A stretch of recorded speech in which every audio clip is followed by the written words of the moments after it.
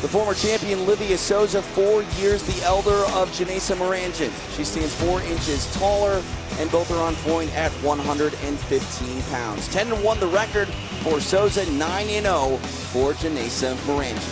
For the particulars and our introductions, here is Joe Martinez. Well, five fans, we are set to go with our co-featured bout of the evening. Three rounds this schedule in the strawweight division. Introducing to you first, fighting out of the blue corner. Standing five feet even, she weighed officially 115 and one third pounds. Tonight, in her Invicta debut, she brings a perfect record into the cage. Nine bouts, nine victories, and no defeats. Fighting out of Curitiba, Brazil, here is the undefeated Evil Princess, Janaisa Morandin.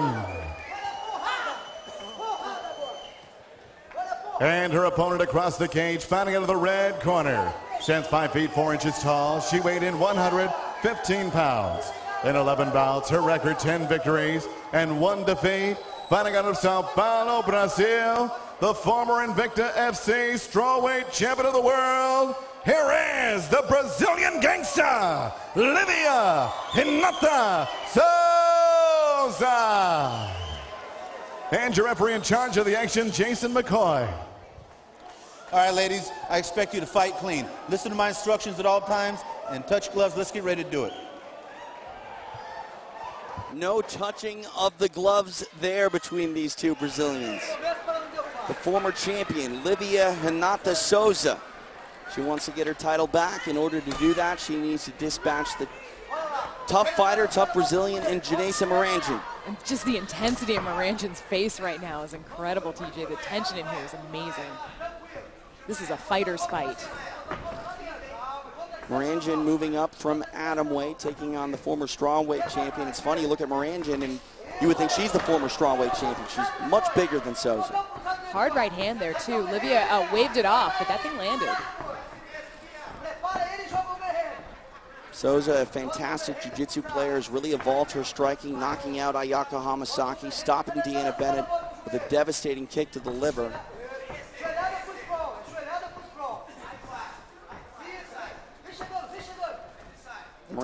Go ahead. Oh, I was going to say, it's always interesting to watch Souza fight because she doesn't cut any weight, TJ. She walks in at weight. Oh, nice right hand from Morandin. Oh. Mentioned that boxing experience of Morandin. We're seeing those boxing strikes here. Combination left and rights. Souza, not a big fan of it, moves away from the fence. Another right hand over the top there by Morandin. Those are just absolutely linear and crystal clear and, and the way they're delivered there, TJ. Beautifully. Wow. Nicely done. We talk about Souza striking, but let's not forget her bread and butter. She's one of the better jiu-jitsu players at 115 pounds in the world. And this is where Morandin said she's also going to best her. She said, I'm better than her at the ground. I'm better on my feet. I'm better on the ground. She was definitely landing better in the exchanges on their feet. So let's see what she's bringing to the table here against Souza.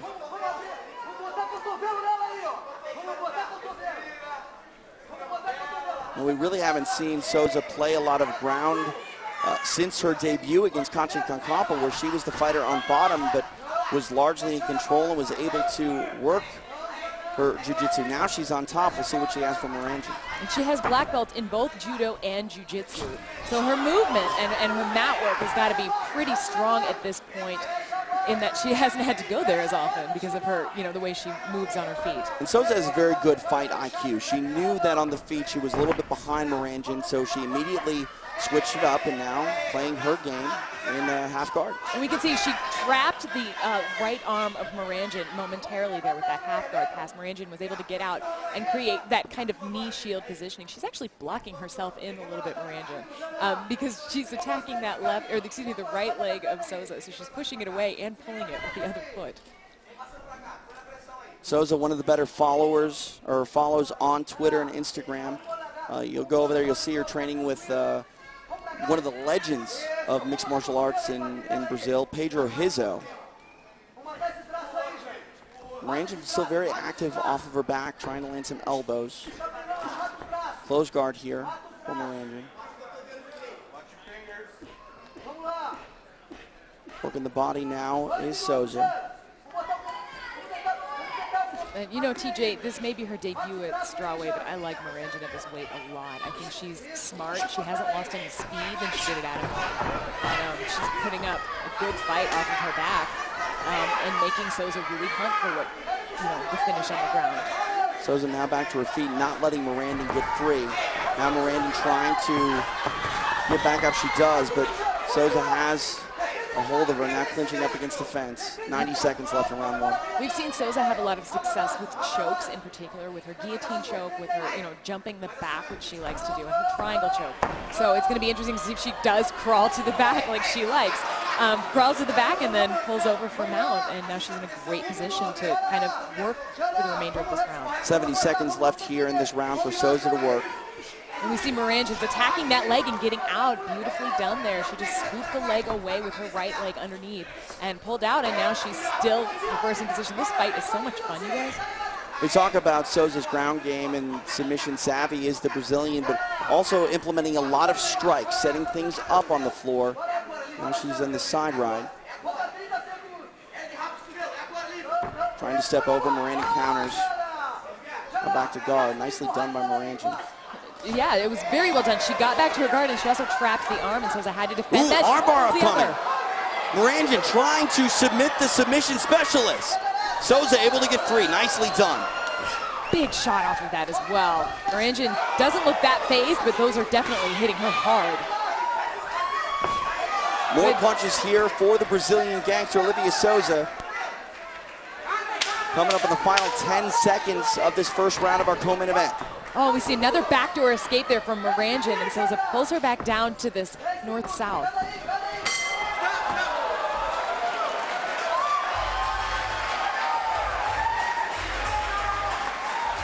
Possibly saved by the bell was Janaisa Morandin there.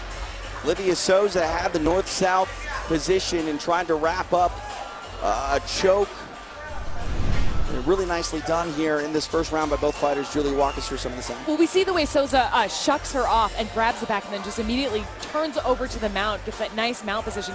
Um, and then Morandin immediately goes to work and gets out of it. There's this guard work that's going on, but man, Souza's just really slamming those strikes in. Uh, Morandin throws up an armbar onto Souza's left arm. Souza gets out um, and manages to stay in top position on her for the remainder of the round. You can see she's climbing there and using north-south to pull on that arm and climb her way into mount with her left leg. What a fun round. We'll see what the adjustments are for Morandin. She had success early on in that round, but once Souza felt, okay, I don't want to stand and trade with you, she took it to the floor and did so quite quickly. Leslie Smith chiming in on Twitter. She's in the house tonight as well, so hopefully we uh, see the Peacemaker a little bit later. Always exciting to have her around. We saw there was a little bit of an ice spill there in the corner. All right, round two underway. Morandin in the black with yellow, former strawweight champion Livia Souza in the black with white. Now Souza tasted the power in the first round that Morandin has on her right hand. She's continuing to, where she started this moving forward, got tagged a little bit, and is immediately finding that range outside of it again. You're right, she has very good fight IQ, TJ. Nice right hand there by Morandin. I like the way Morandin stays bouncing the way she does. It, it's hard to get a read on somebody when their left leg moves in and out, in and out like that, and their head moves side to side. she's got some swelling definitely on her left uh, eye, and I think that comes from those vicious strikes on the ground. Souza got the takedown early in the first round, shooting far from the outside. I'm sure that's on the mind of Morandin, so Souza will have to sort of mix up her takedown attempts if she wants to get it back to the floor.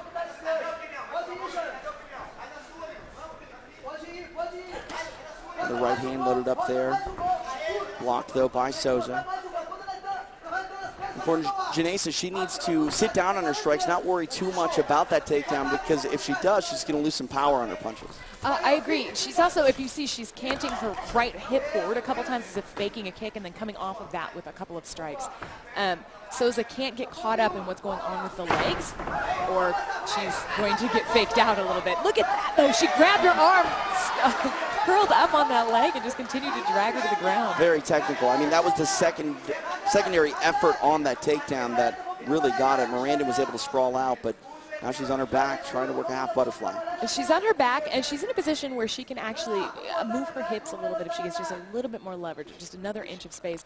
Meanwhile, Souza's got her head down, and she's delivering some of those strikes and looking for a way, I think, to free her head, get it up, yeah, so that she can start ground and pound with a little bit more authority. The happy warrior, Roxanne Modafferi.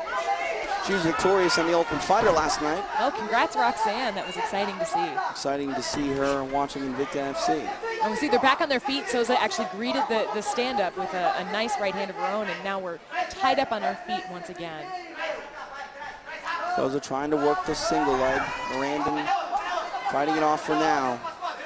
She's got Souza's head down, and you know, Souza really wants to put her on her back, clearly.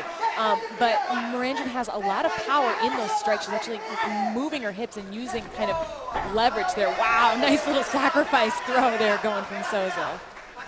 It's one thing to be a straight jiu-jitsu player, but looking at Souza, she's able to get in the wrestling game. Now she's working an arm triangle. Yeah, look at that. She's got that head and arm choke on the right side of Morandin's body. She's got to pass all the way over to complete that. Um, the chin is down, but I think she can still get quite a bit of leverage. Mirandin very smartly uh, tied her up into a full guard position, so it's harder to do. And now she's probably going to try and attack that extended right arm of Souza.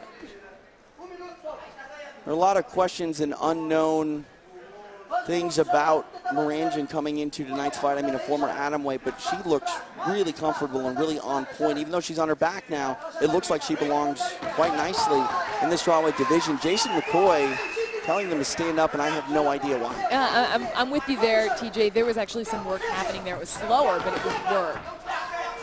Souza with a nice right hand. Morandin trying to bunch up some punches. Oh, Ooh. nice, nice read Souza might be in trouble, but she's still moving.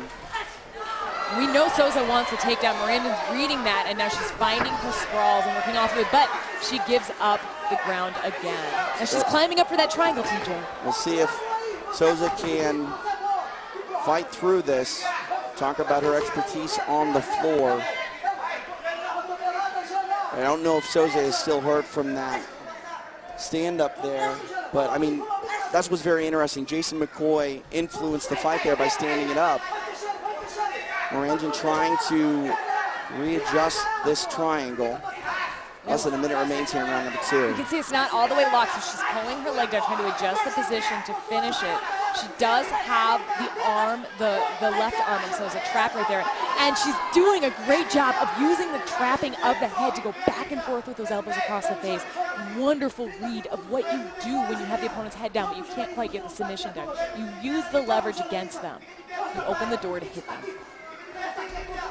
Morandin still hanging tough with this triangle. 20 seconds left. This is locked in.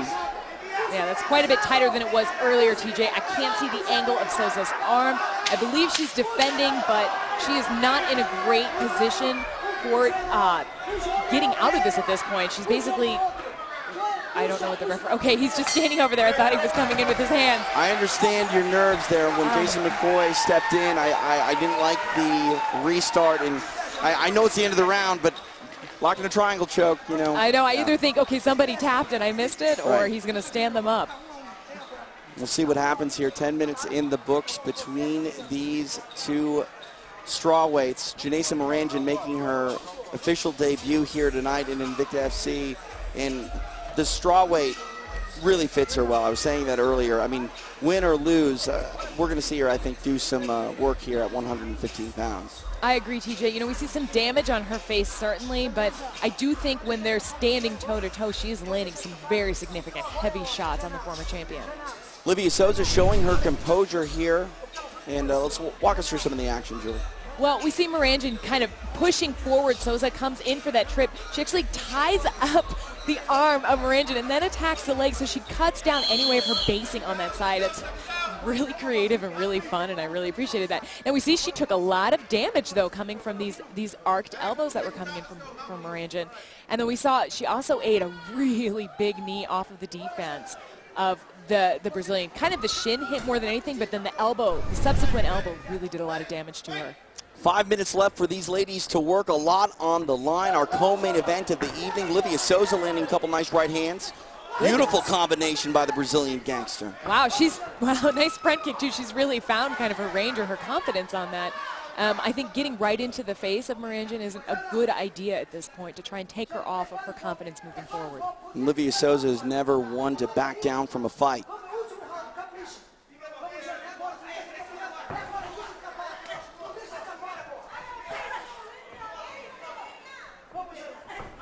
Morandin stalking her. It always worries me when a fighter goes up against a cage like that. It looks like they're kind of conceding position when they pull back on their heels a bit. But uh, Souza just seems, she seems calm. I think Souza might be trying to bait Morandin into a firefight and then duck under for that takedown. We've seen her do it a couple times here. Yeah, I think you're totally right, TJ. And I think Morandin is probably savvy to that and just looking for big shots and to stay on the outside.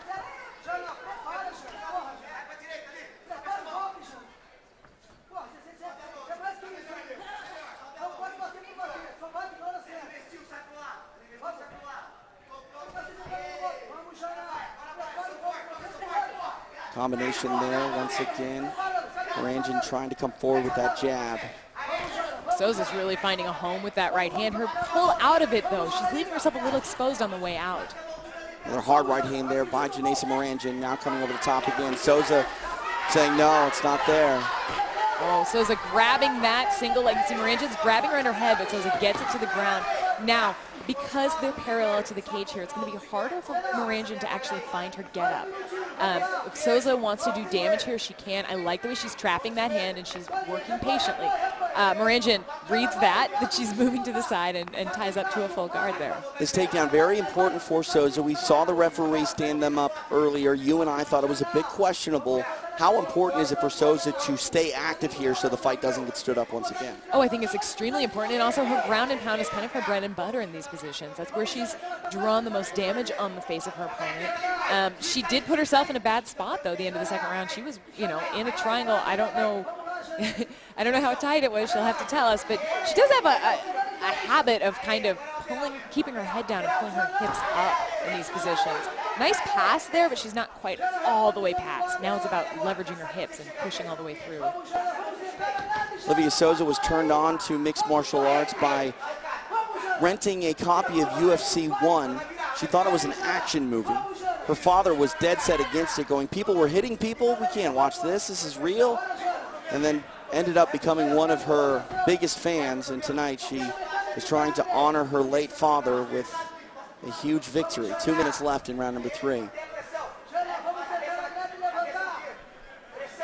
TJ DeSantis, Julie Kedzie, Tachi Palace Hotel and Casino, Invicta Fighting Championships 25. Now clear to side is Olivia Souza. You can see Morandin's climbing her legs up the fence, looking for a way to leverage off of it so she's not completely trapped. It'd be nice if Souza pulled her a little bit away from the fence there to continue this. Um, but she's getting nice strikes in there. Being patient, moving positionally. This is where Souza wants to be, too. I mean, we talk about securing the position. You're inside. You're more often than not not going to be stood up from there, but now Morandin is able to regard. Again, love all the tweets on Twitter tonight. Hashtag InvictaFC25. At TJ DeSantis, at Jules K underscore fighter, at Invicta Fights. Morandin throwing a lot of elbows from her back here. Left hands here by Souza.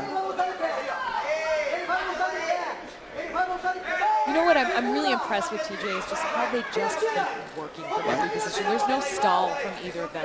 Even when Morandin, she's tying up that kind of head and arm positioning on Souza, she's still working with her feet and trying to improve. Souza, meanwhile, is trying to hit her every opportunity. I don't know if that was a legal shot or not. I think so. I think that was legal, but she caught a, a foot to the face right there. Souza not complaining. She's working. 30 seconds left in this fight. And now, it, oh, excuse me.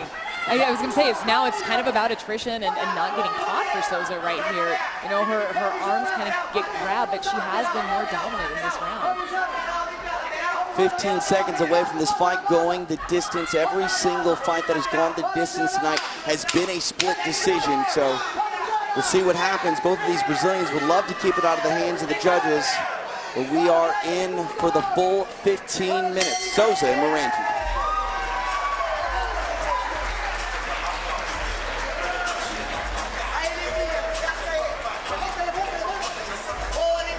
I love the camaraderie between these two fighters. They were just trying to beat each other's heads, and now they're just hugging and exchanging compliments.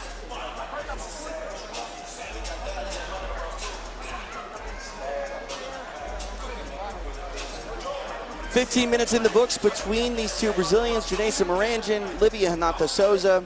All of the judges have had their hands full tonight with every decision being a split decision. We'll see what the judges say about this one. The first round, Morandin had some success early. Souza immediately switched it up, got the takedown. The second round was close. The third round, I think, was Livia Souza's round. I don't know how the judges are going to see it. The string of split decisions tells me we may be in store for another one. I don't know. I, I don't know either, TJ. I just know I would love to see these two fight again. I want all the fights to be this exciting. The pace, the, the power that they put out for such small little frames and, and just I don't know, the, the jiu-jitsu work, I was really impressed with that. I kind of want lessons from them. the way they were moving their hips and switching positions all the time. I'm sure you can get a, a, a rate for a private later on this evening. Looking at Janaisa Morandin, win or lose, this was a solid performance against a former champion. I'm very excited for her future at 115 pounds, and I, I would be surprised if these two end up running it back at some point in their uh, in their futures. I agree, and you know, I wonder if comedian Hannibal Buress is watching his, his fighter tonight. If it, the fighter he picked out that he wanted to sponsor back in the day. Um, yeah, you're right. I think 115 is her home. She is a little bit shorter for this weight class, but you know we saw uh, a fighter like Erica Tiburcio also do very well when I thought, oh, she's too small for this weight class. She's not going to do well. Um, I think she did well at 115. I, I like her at 105, but you know, for Morandin, I think this is her home. The judges have rendered their decision. It rests with Joe Martinez. Ladies and gentlemen, after three rounds, we go to the judges' scorecards. Abe Bellardo has it 30-27. Mark Lawley and Josh Rosenthal both have it 29-28. Your winner by unanimous decision, the Brazilian gangster, Livia Renata Souza. Livia Souza gets it done. A unanimous decision goes the way of the former strawweight champion. She'll speak with Laura Sanko. All right, I'm here with our winner, Livia Renata Souza. Livia, what a gangster performance from you. Absolutely incredible. You've had so many big wins in your career. How does this one stack up? Well, it's a hard camp. My father's dying in a few weeks. Hey, go, man. I can't talk, sorry. That's much emotional for me. The story of this fight was really your ability to get that takedown and maintain position in those wrestling positions. I see some emotion. What's going through your mind right now? Oh, man, that's a big way. Only that. Thank you, Invicta. Thank Channel for opportunity. Thanks all. Família Universal. Thaís, mãe, meus amigos, meu time, obrigado. Foi difícil. Meu pai, essa é pra você, pai. Te amo. Meu pai tá no céu. Hoje me ergueram minha mão pra mim tocar a sua no céu. Amém. Can you say that in English? I don't know. Sorry. That's okay. Livia, I gotta believe that a strawweight title shot is next for you. Who do you want to see standing across that cage? I don't know. I like to Shannon Cantley. Livia, fantastic performance.